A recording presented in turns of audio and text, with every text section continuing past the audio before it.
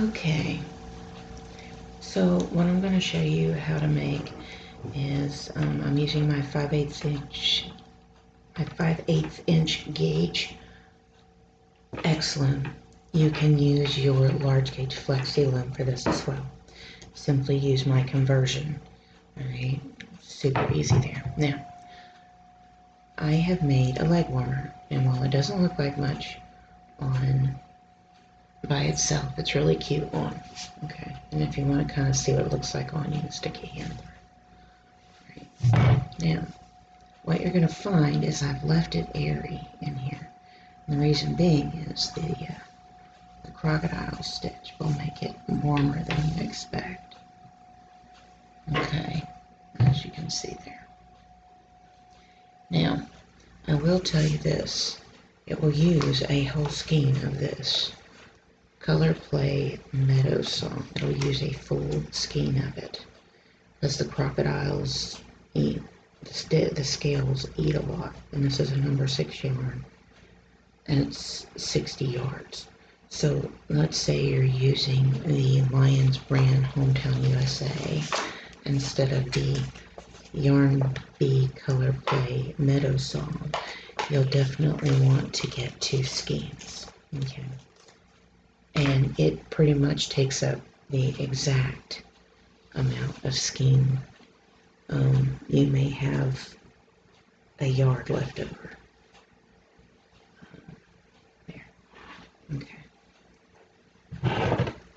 Now, what you'll want to do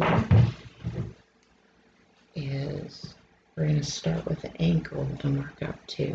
Now, this is for um, basically for a child. If you're wanting to do this for an adult, go ahead and start out with 24. Work your way up to, I believe, 36. And um, you just want it to be indivisible by 4. You can make this more or less depending on your leg size. This is a guide and um, it, it does not tend to change as much. Alright, so we're going to do a chain cast on. Alright, and I'm starting off with 16 pegs. Alright.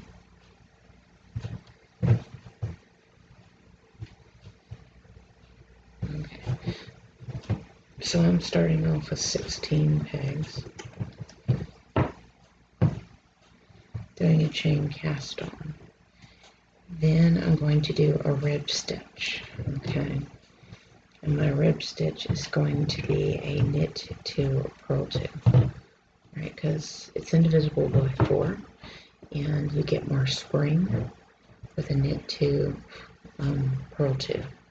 Okay, so if you know what I'm talking about, you can go ahead and pause the video, do your chain cast on, and then you want to knit two, purl two for a total of 15 rows. Now, if you don't quite know what I'm doing here, it's okay. Chain cast on will give you the place to be able to slip it on your foot, but the rib stitch will make it where it actually sits nicely around the ankle. And we are going to be doing an increase. You do not have to do the increase if you do not want to. You can go ahead and start this thing out, but it may take more yarn than you expect. So keep that in mind. And you may want more yarn if you want your leg warmer to be bigger, taller, um, that's okay too. You just do more of your 16 row repeat, okay? That's all.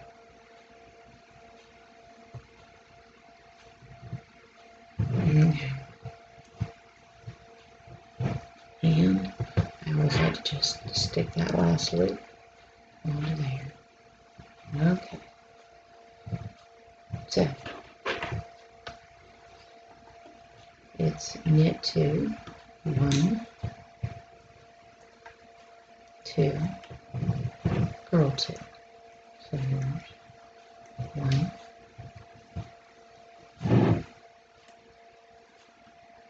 two.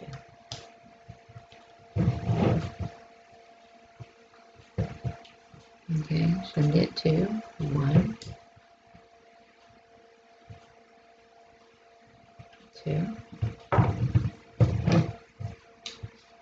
and purl two.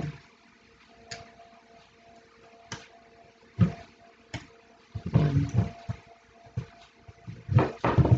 two. Do this for 15 rows, your rib stitch, okay? So round and round for 15 rows. And then when we come back, we'll do our increase. Now, if you don't want to do the increase, you do not have to. If you're wanting to start larger, you can. This is a guideline. You can do this and change the size up. It's still keep it indivisible by 4. If you keep it indivisible by 4, you can easily change the size of this, make it longer, make it shorter, that kind of thing. So this is a guide in order to be able to adjust your size. This is for my daughter. She's four, which is why the ankle's a little small, okay? And I only did three, I only did one and a half of the crocodile stitch. I didn't even do a full two steps. But if you're doing for an adult, you may want to do two sets or three sets. And you may want to start out bigger, okay? But this is just a guide and um, just to go from there okay?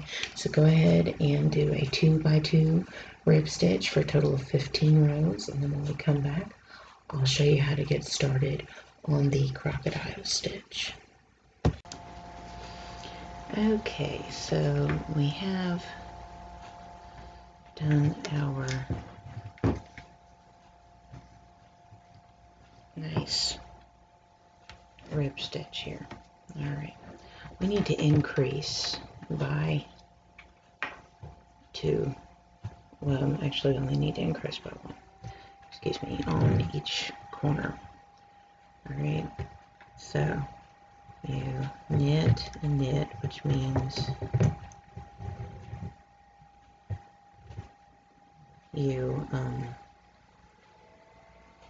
don't really have to worry about the rib stitch at this point, the scale is going to cover it. So, you know, see if I can get this to focus better. Okay, so I knitted two. And I have my working yarn. Let's see if I can do this. My working yarn inside the loom. Now, when it comes to this purling stuff, I'm going to find my first stitch, which is here. Okay, I'm going to back the working yarn in front and then I'm going to hold the original stitch down while I put this back over. Okay. Now, you find the stitch you just made.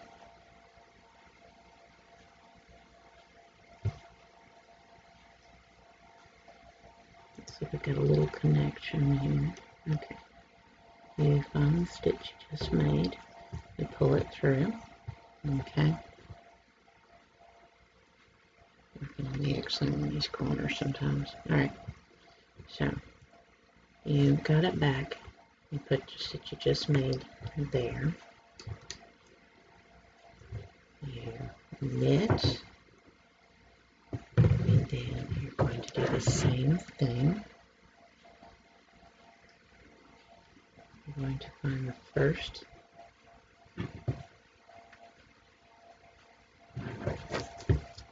and you're going to pull it back yarn in the front. And here's where you have to hold down your original stitch.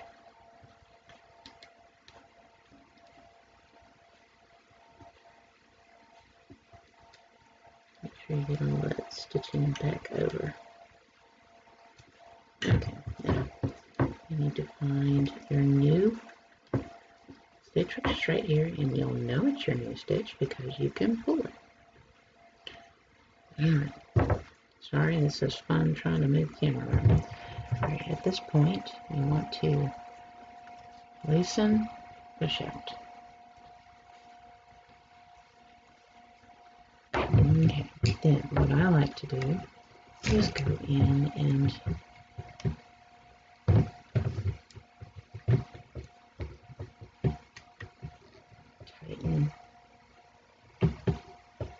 my stitches. Okay. Then you can knit your way over again. The rib stitching doesn't quite matter at this point because you are going to be hiding it by scale. We need to increase to the 24. Okay, I'm going to try to show you this one more time. Okay. Pick up this right here. You see it? I'm pick it up. Pull it that on the front. And then I'm going to hold down the original stitch as you put that back. Okay? That one lot smoother. Okay, and then you find your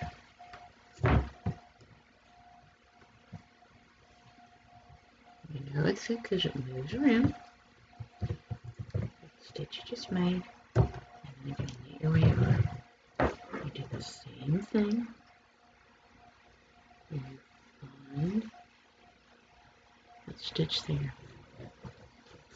Now, if you have other ways you like to increase on the loom, go for it. This is just my preference. We're just needing to increase. And pull it back. Okay. And move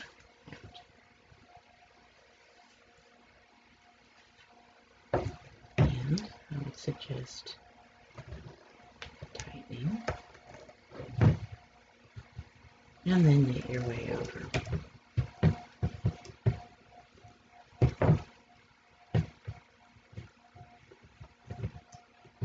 Okay. So you're going to do this on this one and this one. And then you should be back at your starting point. When you get there, then knit your way around, okay? So you're going to increase and increase here. And then you're going to get around here. You're going to just knit your way around. And when we come back, we'll be ready to start our scales, okay? So pause the video and get that much done. Okay, we are now ready to do our scales. Okay. So, we're going to skip this first peg. You can knit it or you can skip it. It's up to you. And if you want to knit it, you can. But this counts as four, alright? So, you can knit it. Now, what you want to do is you want to create a loop. Just loop it, alright? Now, push all this down, because you don't want to touch any original stitches. You're going to loop that thing behind, you see? Behind it. Alright? You're going to grab it, pull through. Grab it, pull through. So it's a chain cast on. Let's done it before. You want to do six. So you're going to do one, two, three, four, five. So one, two, three, four, five, and six. Just place it on there. Alright. Alright. So you do a chain cast on. Yeah. What you want to do is you want to knit your way over, and this counts as row one. Alright.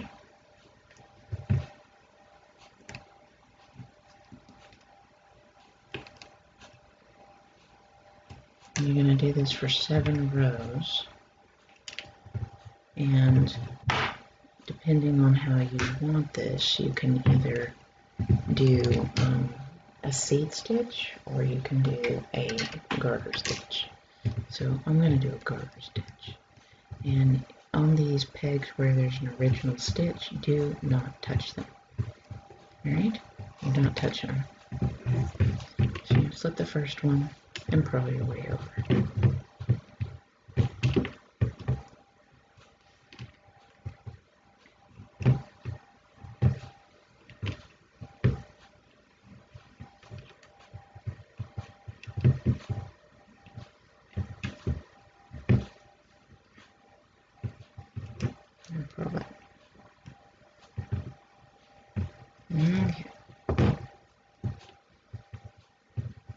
And you're going to slip and knit your way over.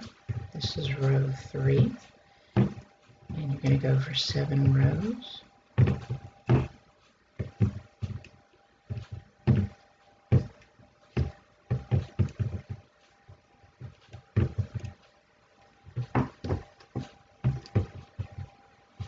Going to slip that first stitch, purl your way over.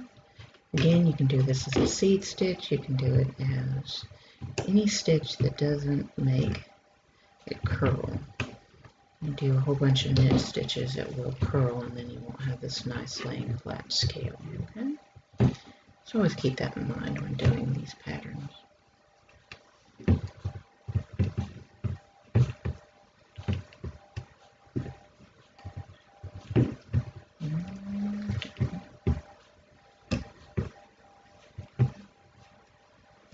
slip and here is five.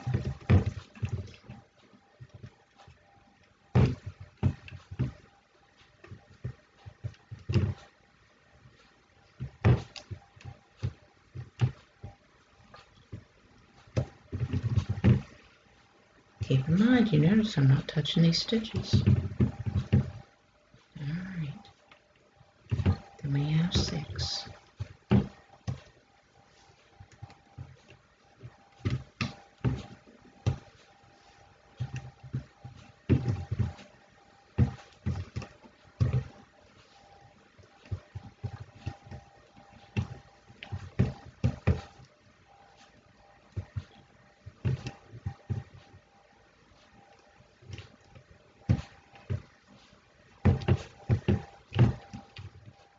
Then we slip it, row 7.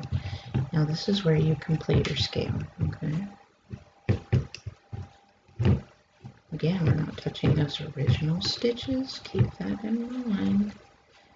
Alright, here's how you want to do it. Wrap around that next peg. You can go ahead and you can toss that loop over if you'd like. Alright. Then we're going to send it through the bottom purlwise. Okay, you can send it through knitwise if you want. I just happen to do it purlwise. Still not touching those original stitches. Alright? Never touch those original stitches. Right? Or you screw up your scale. Your scale is like working separately. Just keep pulling it through on a purl way. You can do it as a single and then pull it through, or you can do it as a double and pull it through. To get myself started, I usually pull it through as a double. Okay. And last one. Now, you're going to grab your loop here. You got it? Grab it. Take the loops you created off. All six. Alright. Now you're back stitches. What you want to do is you want to pull it. Be aware of your stitching, okay? Now, pull.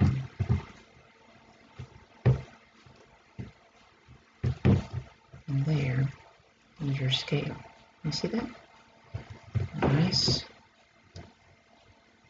pretty scale. Got it?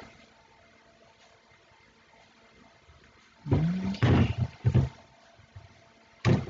Then you're going to toss that loop over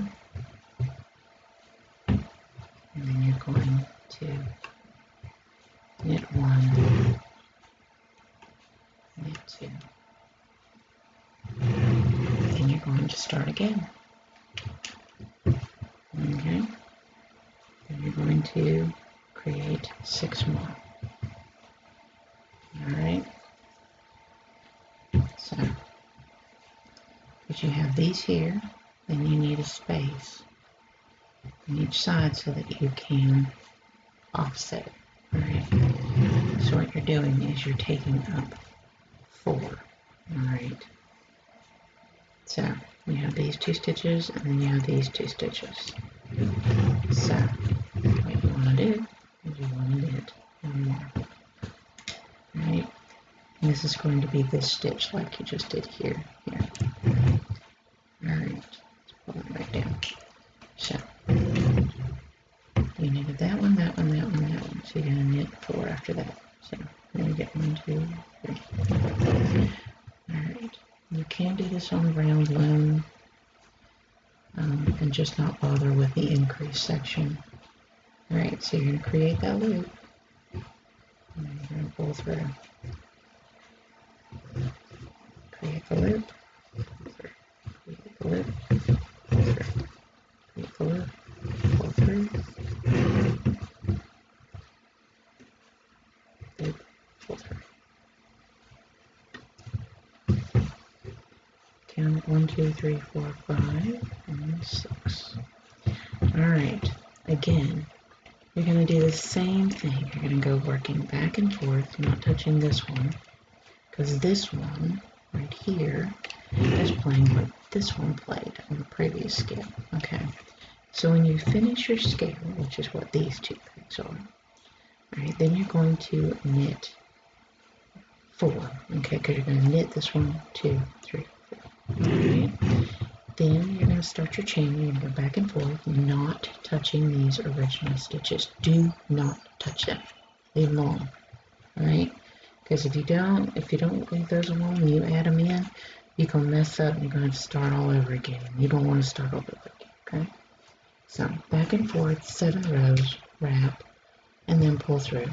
So if you need help, go back to the original, go back to this section of the video, and follow it again. It doesn't matter which section you're on, you just need to remember not to touch those original stitches, okay? So you're going to do that all the way around. And because you're using four stitches to complete a set, what you should have is um, six of these little scales, okay? You should have six little scales, all right? So go ahead and pause the video and complete that much. Okay, so as you can see, one, two, three, four, five, six, six of those. Now the next thing you want to do is just purl your row. So you're going to purl your row. Okay.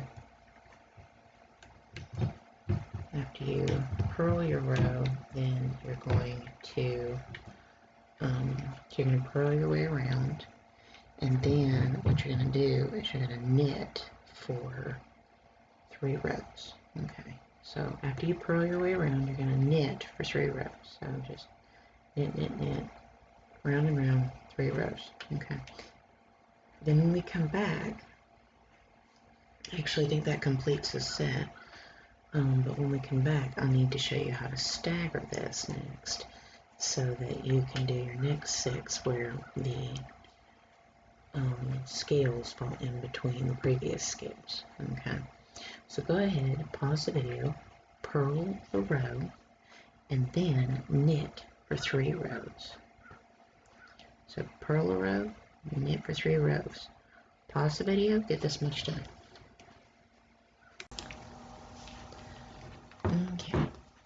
As you can see, I have completed those rows. And am now ready to start my crocodile stitches again. Okay, so our scale started here. We need to do a scale that's going to be here. So how this is going to work. Knit this one. So you're going to knit two, then going to one more. Then you're going to start. And so I'm not having to work around this. I'm going to come out this way. So create your loop. One, two, three,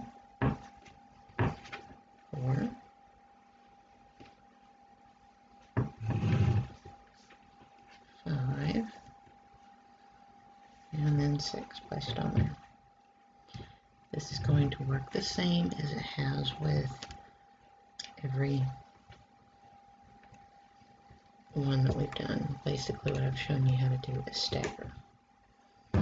So you cast on, knit, and when I do this it makes it easier to not have to worry about original stitches. Okay, and then purl my way back.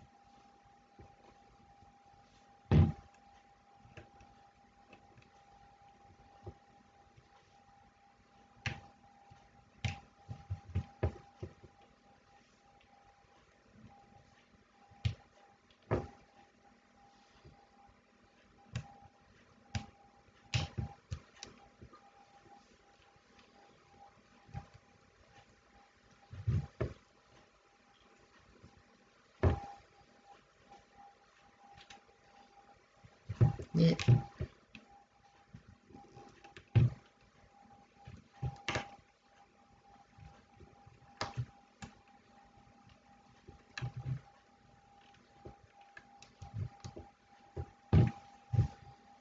purl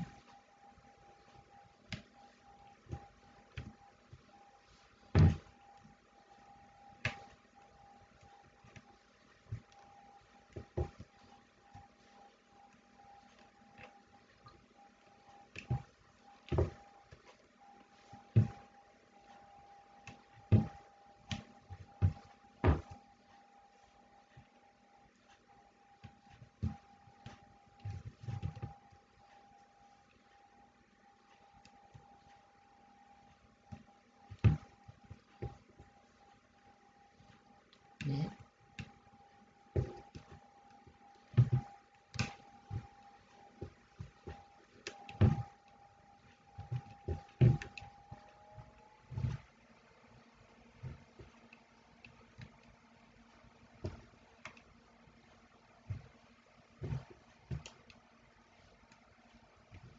purl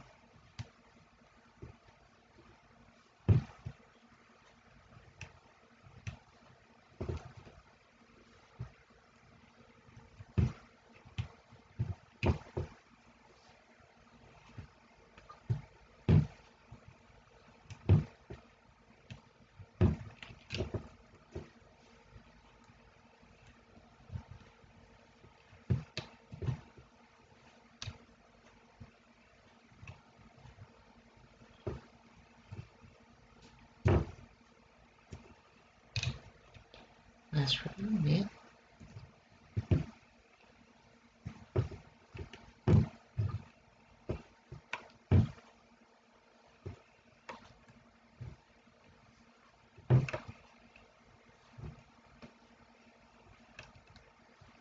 wrap.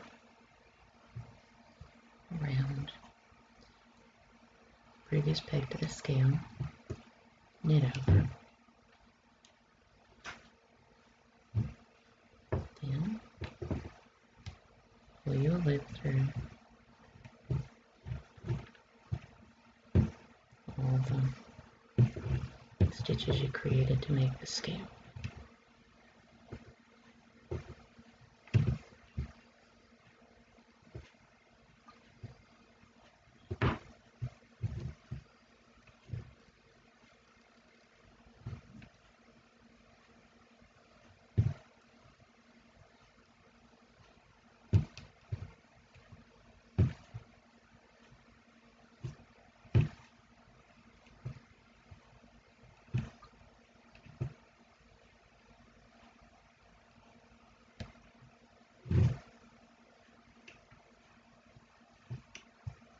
Okay.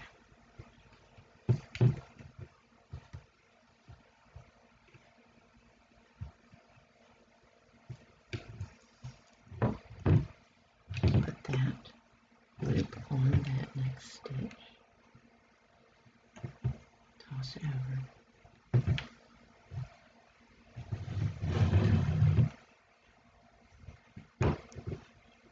And knit three. One, two, three. Your next scale should be on these two. Okay, So now you're going to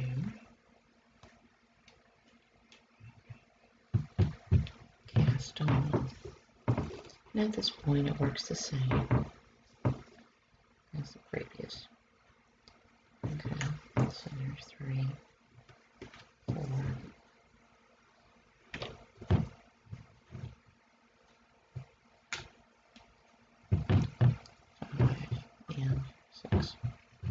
Okay. When you are knitting back and forth, do not touch these stitches down here.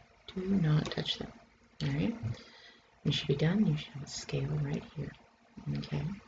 So go ahead, pause the video, complete your row of scales, and then we can come back and I can show you that you'll need to do just like we did here. This kind of lacing here that you've done with the rows, you're going to repeat that. Okay, so can go back in the video and you can repeat that section where you're doing the um, lacing thing. So you're going to go in and do crocodile stitch all the way around. Then you're going to knit the row and then you're going to do that little um, knit and then move and then knit over knit all the way around. Then you're going to yarn over, knit, yarn over, knit. Then um, you're going to purl, and then you're going to knit for three rows, I believe. And um, so anyway, you just go back in part of the video what I do after I do my crocodile stitch. And you're going to do that right after you do this one. Then you're going to go back and you're going to do the first row of crocodile stitch and then you're going to stop okay? And what that's going to do is get you to a point.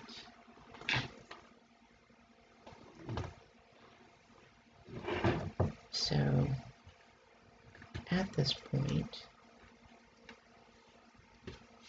what we've done is we've done this and we need to do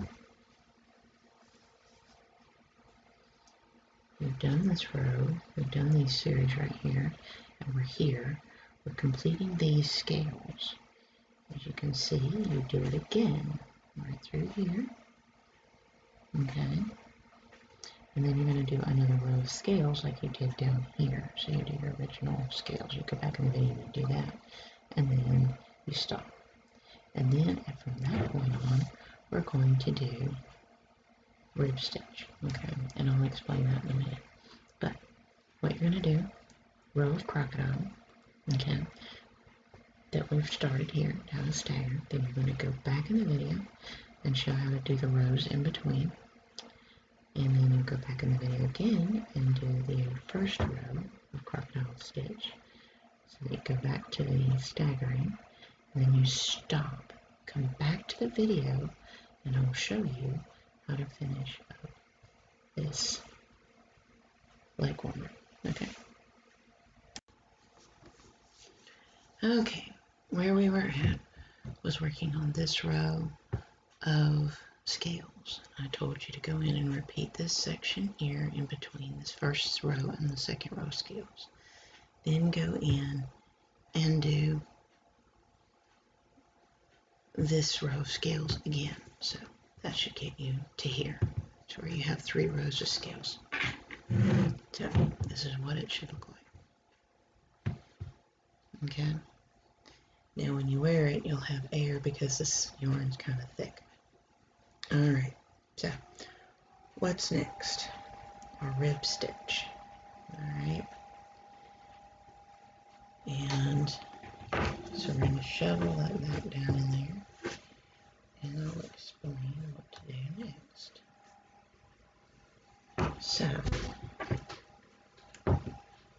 you're going to knit two,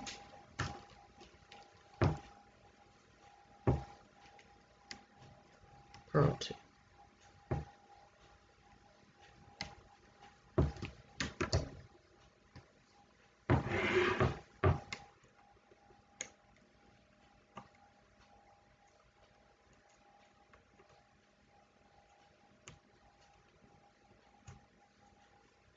the way around.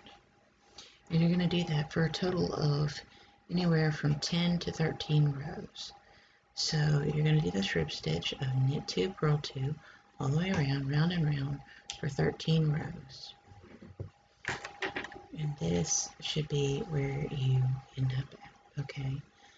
At this point, then we'll do a special bind off that allows for stretch but has a clean edge.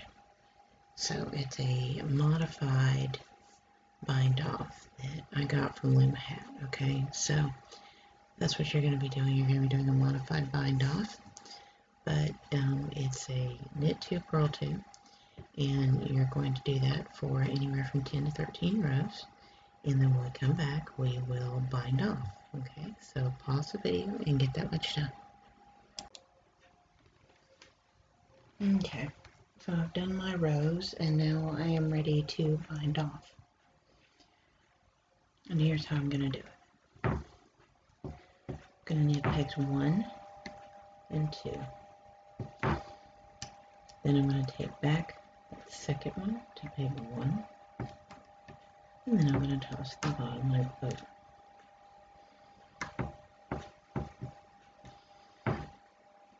Then I'm going to knit pegs 1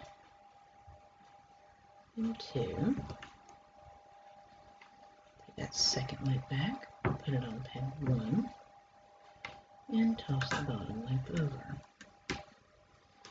Move over. Knit pegs 1 and 2.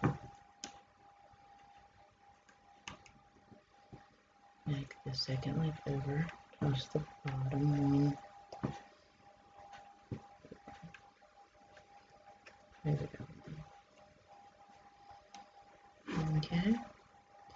And what this is doing is this allows you a loose bind off, but still clean.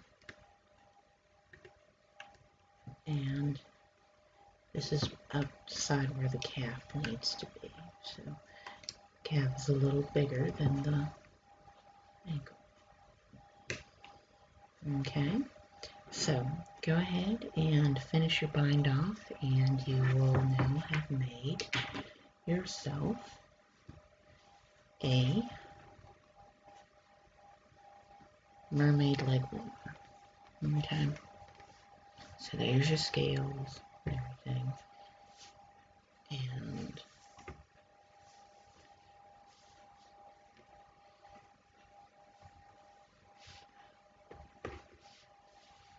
what it looks like. And where it is an arm, one or two.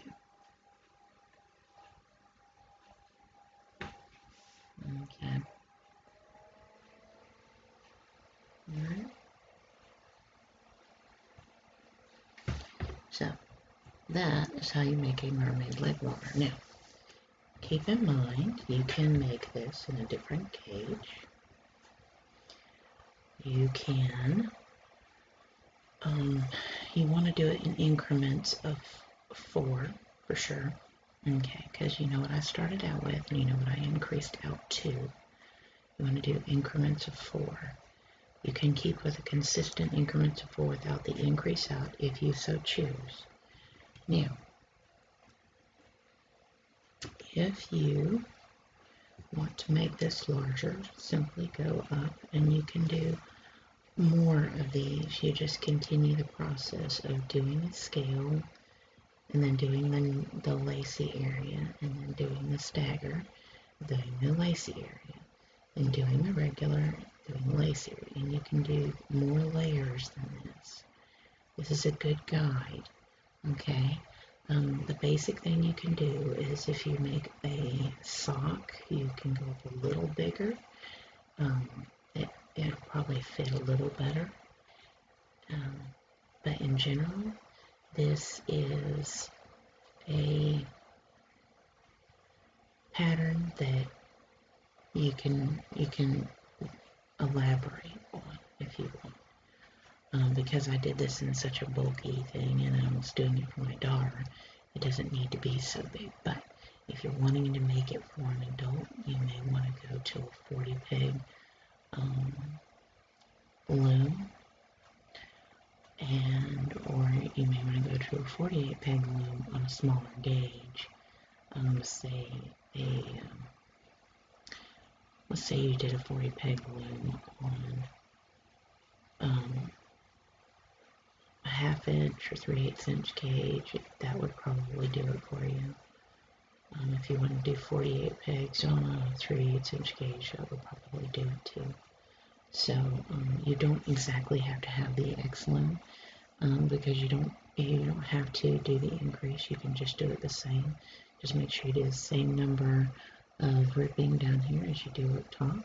And as I said, you can do more scales if you so choose.